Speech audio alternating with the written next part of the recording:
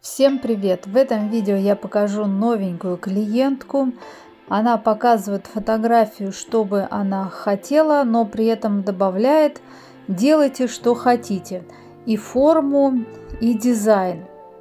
Я спиливаю предыдущее покрытие, которое, кстати, неплохо держится. И про себя думаю, надо повторить ту же самую форму, которая и была. Потому что Клиент новенький, если я сразу сделаю ему четкий квадрат, как мы все любим, чтобы фотография была инстаграмовская с четкими линиями, я не знаю, как к этому отнесется клиент новый, потому что не все клиенты любят четкие квадраты, да это и понятно, они колятся, с ними некомфортно а предыдущая форма была что-то типа мягкого квадрата, квадратура круга, как я ее назвала в Телеграм, поэтому форму я менять не стала.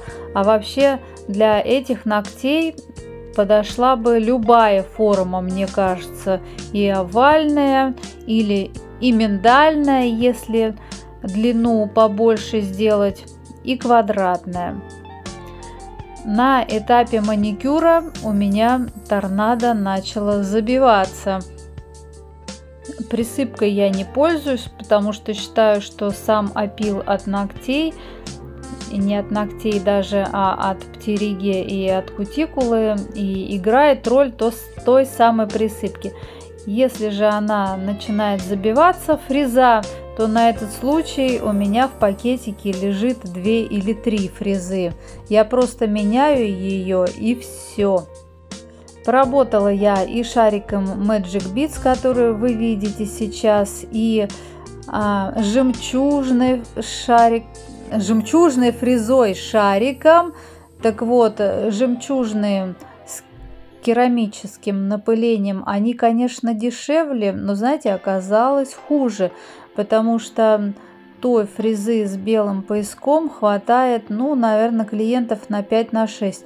А вот эта Magic Beats, она дороже чуть ли не в два раза, но она до сих пор еще острая. В общем, ее на дольше хватает, во-первых, ну и работает она лучше, поэтому она все-таки стоит своих денег после того, как я прошлась шариком, вы видите, что опять я почему-то взяла торнадо, и опять я почему-то там вычищаю.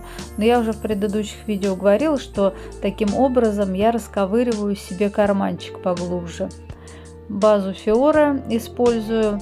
Дополнительная кисть здесь говорит о том, что родная кисть из флакончика уже не достает до дна бутылочки, поэтому мне приходится переворачивать бутылочку и по капельке на палитру и с палитры дополнительной кисточкой. Блестки от Leo Nail.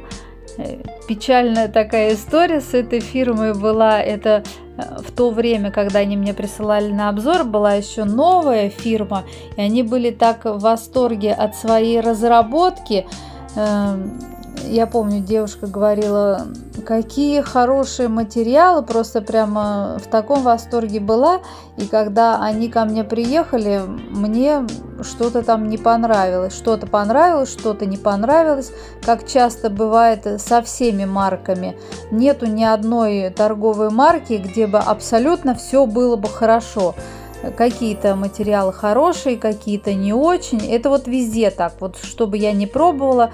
Вот буквально сегодня девчонки WhatsApp обсуждали, какую бы фирму вы выбрали, если бы вам нужно было бы выбрать только одну какую-то фирму и пользоваться только одной этой фирмой.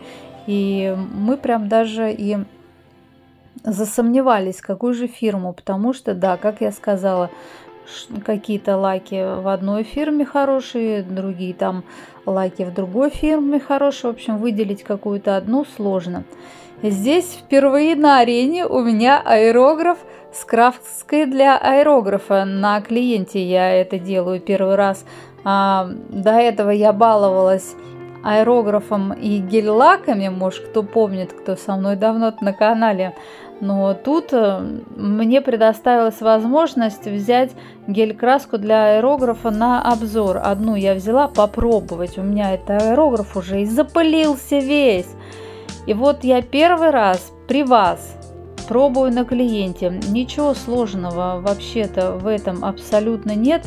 Единственное там, ну, нюансы надо знать, чтобы краска долетала до ногтя уже высохшая. Э, опять же, надо торцы заточить, э, в общем, покрывать так, как мы в тирку покрываем, чтобы она не сползла с торцов. Я ее тут дополнительно и базой закрепляла, и двумя слоями топа. Все равно я, конечно, волнуюсь, как клиентка относит аэрографию.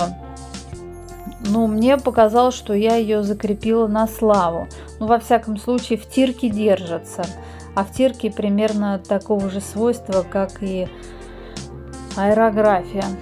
Э, рисую здесь акварель. Акварель не советую брать дешевую, ту, которая в детских магазинах канцелярских продается. Все-таки лучше взять Невскую палитру. А потому что я пробовала детскими акварельными красками рисовать. Во-первых, сами краски имеют в составе какие-то частички. Вот ими рисуешь, а на ногтях не, не просто нежная вуаль, а прям какие-то частички. Ну, впрочем, у Невской палитры тоже такие краски попадаются. Вот одна коробочка вроде бы, одни краски равномерно ложатся, а другие прям какой-то пылью, прям крошки какие-то в красках. Ну, в общем, вот. После перекрытия то... А что это тут у меня белый экран какой-то не идет? Ничего, что ли? С монтажом я тут что-то напутал. Ладно. В общем, вот такой у меня результат получился. Надеюсь, что она у меня относит аэрографию хорошо.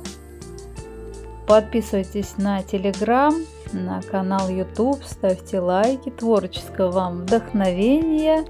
Пока-пока.